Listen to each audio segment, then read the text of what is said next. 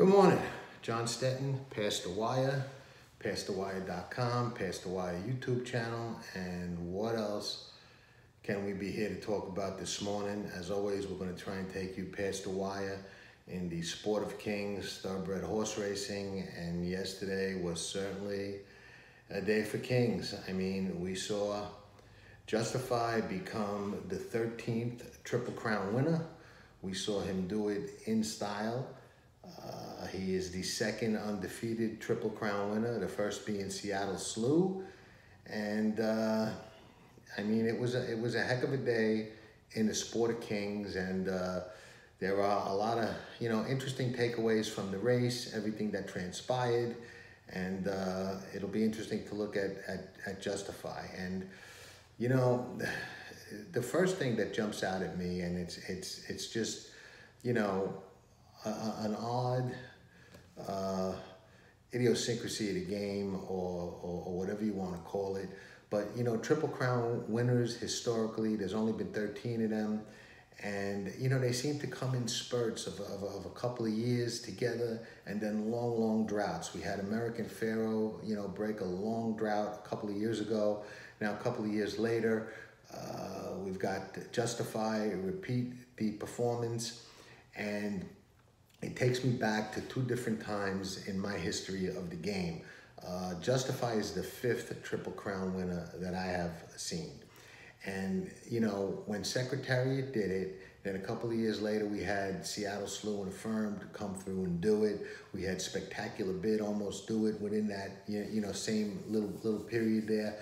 Um, and, you know, Spectacular Bid had a couple of legitimate excuses uh, but that aside, let's just talk about what did and didn't happen. You know, we had those three in a close period of time and, and, and another horse almost. So with that said, people at the time were saying, oh, it's so easy, you got to make it tougher, all these horses are doing it now. And then we had that long drought and people were saying, oh, it's too tough. Nobody's ever going to do it again. We'll never see another one. We got to change the races, change the spacing, change the distances. All nonsense. The Triple Crown is one of the toughest achievements and accomplishments in all of sports, not just horse racing. It's supposed to be hard, but 13 horses have shown us that if you're good enough and things go right, you can get it done. Uh, you know, we, have seen it now, we've seen it before. It doesn't need to be changed, it doesn't need to be altered, tweaked. It's not broke. You don't have to fix what's not broke.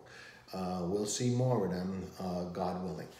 Uh, you know, Justify is special because of, you know, knocking down that Apollo curse that stood for so long with, you know, no horse having not raced at two, winning the Kentucky Derby. I always say, and, you know, anybody who, who pays attention to, you know, my column or, or, or, or, the broadcast knows that, you know, all those stats all come down at some point eventually. You, know, none of them mean anything on any given race day.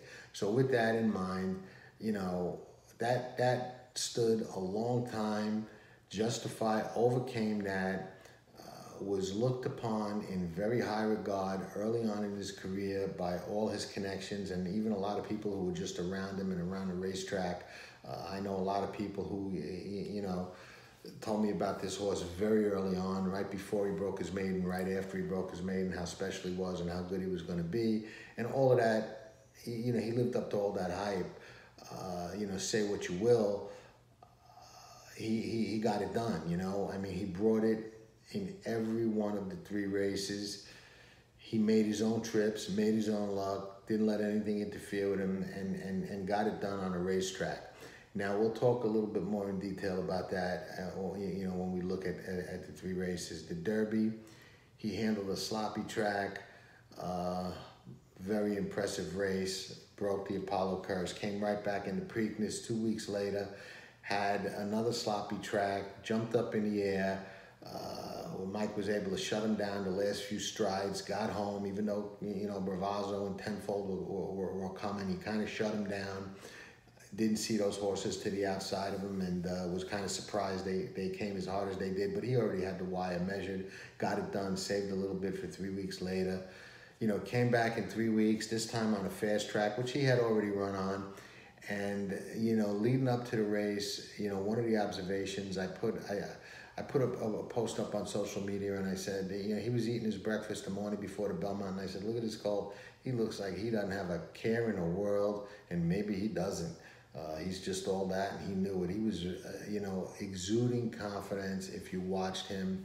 Uh, he was the same way when he got every time he got off a van, got to a new surrounding, got off the plane. He walked around like a boss every time, uh, and it was fun to watch. And another thing that I noticed going into this race, Mike Smith, um, you know, always humble, always a gentleman, always first class, was very quietly confident. You know, just very cool, calm, confident, and it was noticeable.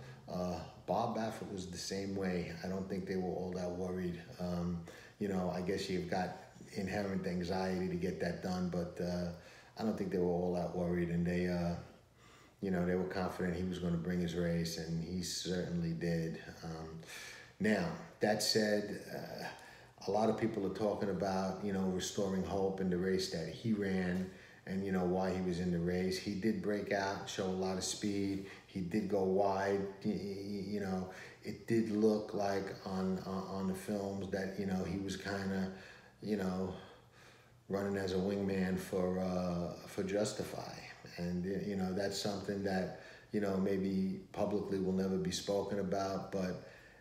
Um, I don't know that it really mattered. I think, you know, and as I said before the race, uh, what was going to determine the race was pace. Pace makes the race. And, you know, it wasn't only pace, it was also whether anybody made Justify work hard, you know, during the early part, the first three quarters or the first mile of the race. And that didn't happen. Nobody made him work hard. He, you know, set a leisurely pace.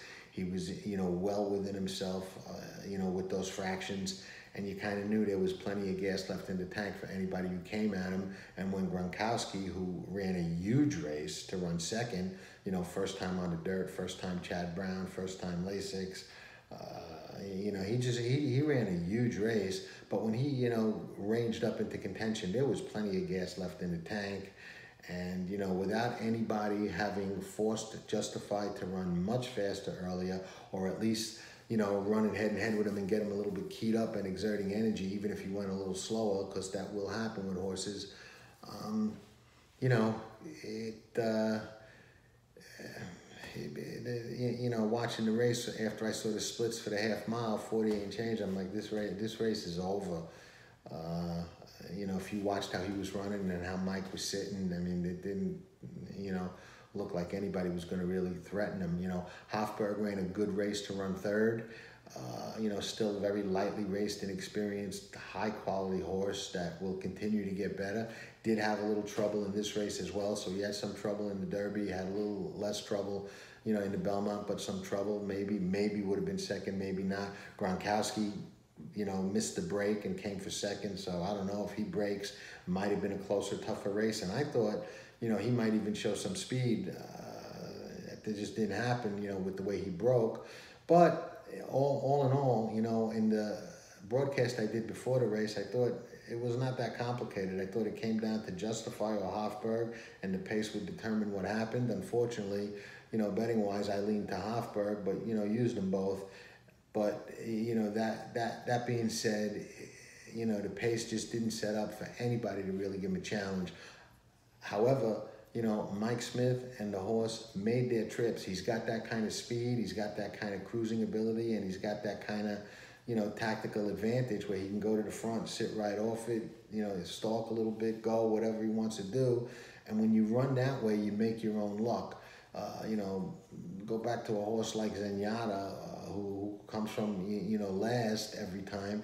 They don't make their own luck. They're kind of pace dependent, you, know, so when they get up uh, for 10 in a row or something like that, it's like, wow, you know, how do you come from off the pace, and, you know, and do that into a fast pace, slow pace, you know, horses that have that kind of natural speed and can kind of put themselves in position have an advantage. So, uh, you know, it takes nothing away from the accomplishment. And, you know, Justify has a phenomenal resume. Uh, I don't think that we'll ever see a three-year-old accomplish so much in a short period of time. I think it puts an exclamation point on Bob Baffert being just, you know, simply the best at what he does and getting these horses ready for these big races and to just, you know, peak when he wants them to, maintain that form, do everything right. Uh, everything went right with this horse throughout the whole campaign. He had that little blip when he was favoring that, you know, uh, hind leg, but uh, that turned out to be nothing as, uh, as, as, as, Bob said it was. He was fine in a day or so.